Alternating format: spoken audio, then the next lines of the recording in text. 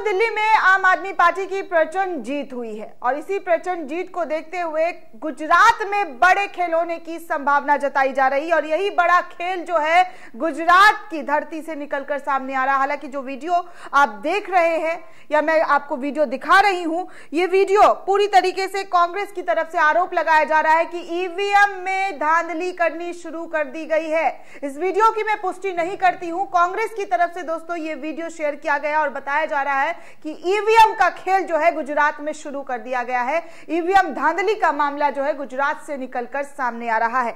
एक एक वीडियो आपको दिखा रही हूँ दोस्तों की कैसे जो है ईवीएम से भरी पेटी जो है, वो लोगों के हाथ में नज़र आ रही है और शर्वन प्रमाण नाम के जो यूज़र हैं, जो कांग्रेस सेवा दल मीडिया प्रभारी खुद को लिख रहे हैं अपनी पेज पर। उन्होंने ये वीडियो ट्वीट करते हुए जानकारी दी है कि गोदी मीडिया तलवे चाट रही है। चुनाव आयोग गांधा, गांधारी बना हुआ है और ईवीएम जेब में है। बन गई सरकार गुजरात में। क्योंकि ईवीएम जो है, बड़े गाड़ी में पकड़ी हुई नज़र आ रही है। इस वीडियो के अकॉर्डिंग अगर बात की जाए दोस्तों तो ईवीएम का पेटी जो है, यहाँ पर किसी ट्रक में नज़र आ रहा है, जिसको ले जाने की कोशिश की जा रही है, जिसको कांग्रेस की तरफ़ से, कांग्रेस के कार्यकर्ताओं की तरफ़ से पकड़ लिया गया है और बताया जा रहा है कि कैसे जो है ईवीएम धांधली जो है वो शुरू हो गई है। अभी आठ तारीख में थोड़ा वक्त है दोस्तों, थोड़े घंटे बाकी है, लेकिन वहाँ से इस तरीके की तस्वीर सामने आने लगी है कि दिल्ली की हार देखकर शायद गुजरात में भी बड़ा खेल करने की कोशिश की जा रही है, साजिश की जा रही है, जिससे ईवीएम पलट करके ईवीएम का खेल शुरू करके गुजरात जीत लिया जा सके।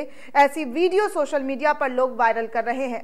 अब देखिए, जावेद अहमद लिख रहे हैं ट्वीट करते हुए कि गुजरात और हिमाचल प्रदेश में अगर ईवीएम मशीन सड़कों पर प्राइवेट गाड़ियों में नहीं घुमाई जाए तो भाजपा का सुपड़ा साफ़ होना तय माना जा रहा है। दोनों राज्य की जनता सत्ता परिवर्तन के लिए मतदान करने का मन बना चुकी है।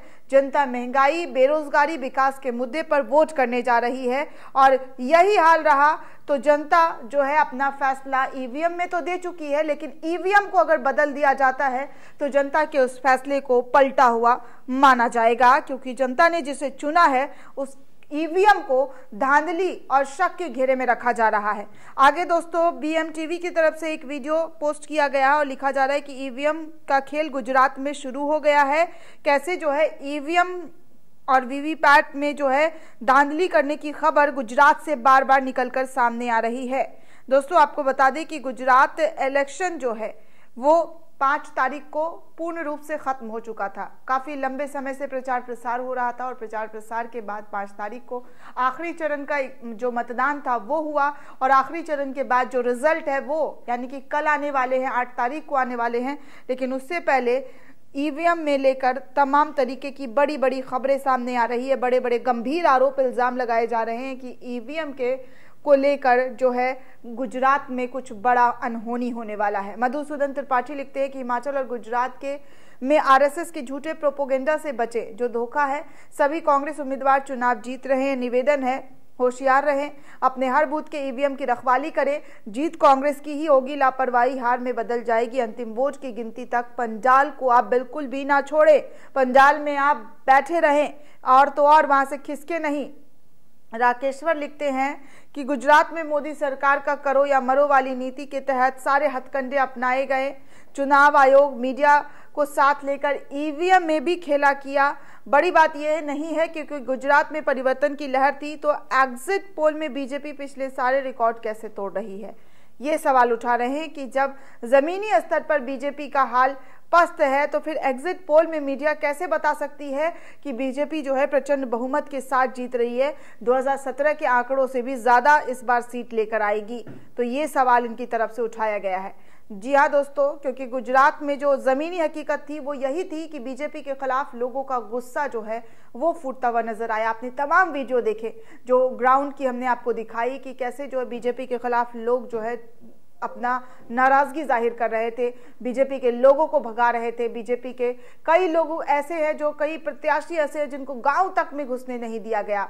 फिर ऊपर से आपने खाली कुर्सियों का भी रैली देखा कि कैसे खाली कुर्सियों का जो जमावड़ा है, वो बड़े बड़े बीजेपी के नेताओं के इसमें लोगों का ना जुटना, ये भी अपने आप में बड़ा सवाल था। आगे एजाज अहमद रिजवी लिखते हैं कि गुजरात चुनाव में, पूरे गुजरात में ईवीएम खराब होने के कई मामले सामने आए। जमालपुर विश्वनगर बयाड बड़गांव, खेड़ा और आनंद में कई बूथों से शिकायत भी प्राप्त हुई है। अब आगे जो है, वो सब कुछ भगवान भरोसे है कि ईवीएम में धांधली होती है या नहीं होती है, या कैसे चोर दरवाजे से सब कुछ खेला हो सकता है, इसकी जानकारी अभी किसी के पास फ़िलहाल नहीं है। विष्णु, जायसवाल लिखते हैं कि एग्जिट पोल को दिखाकर भाजपा आज से परसों तक ईवीएम की हेरा फेरी करने में कोई कसर नहीं छोड़ेगी। एमसीडी का दिखाकर आप खुश कर दिया और हिमाचल प्रदेश में दिखाकर कांग्रेस को खुश कर दिया। और जिससे गुजरात में आप कांग्रेस खुशी से ईवीएम की रखवाली करना भूल जाए और बीजेपी अपना हेरा फेरी कर ले। यह यहाँ पर लोगों को, जनता को, कार्यकर्ताओं को जो है आगाह कर रहे हैं कि बीजेपी जो है, जो चाहती है, वही हो रहा है कि लोगों को गुमराह करने के लिए पूरी कोशिश की जा रही है कि आप यहाँ जो है सीट देखकर खुश हो जाइए कि बीजेपी जो है गुजरात में जीत रही है, आम आदमी पार्टी एमसीडी दिल्ली में जीत रही है। और कांग्रेस जो है वो हिमाचल प्रदेश में जीतती हुई नज़र आ रही है लेकिन जो बड़ा खेल है वो गुजरात में करने की संभावना जताई जा रही है। तो इस तरीके से दोस्तों ईवीएम का पकड़ा जाना ये अपने आप में एक बड़े सवाल खड़े कर देते हैं कि क्या भारतीय जनता पार्टी को हार का डर गुजरात में भी सताने लगा है? जिस तरीके से दिल्ली के नतीजे सामने आए हैं क्या उस नतीजे को देखकर बीजेपी कोई स्ट्रिक और कड़ा एक्शन लेने वाली है? क्योंकि दोस्तों यही वो नतीजे है दो, दो, में बीजेपी की किस्मत का फैसला करेगी और दिल्ली की जनता ने तो बीजेपी की किस्मत का फैसला कर दिया है कि बीजेपी यहाँ से पूरी तरीके से सुपड़ा साफ़ हो गया है। वहीं अब गुजरात और हिमाचल में बचा तो गुजरात और हिमाचल से पहले, वोटिंग, काउंटिंग से पहले इस तरीके की खबरें आना, ये अपने आप में कई बड़े सवाल खड़े कर जाते हैं कि आखिर क्या होने वाला है? क्या ये जो ईवीएम का मिलना ट्रकों में, ये कोई और संकेतिक इशारा तो नहीं है? क्या ये फेक वीडियो है? क्या ये फर्जी वीडियो है? ऐसे तमाम लोगों के मन में सवाल उठ रहे हैं, क्योंकि कांग्रेस ने इस वीडियो को शेयर करते हुए कहा है कि बीजेपी बड़ा झोल करने वाली है। लोगों को लॉलीपॉप पकड़ा कर बीजेपी अंदर खाने से बड़ा कांड करने वाली है।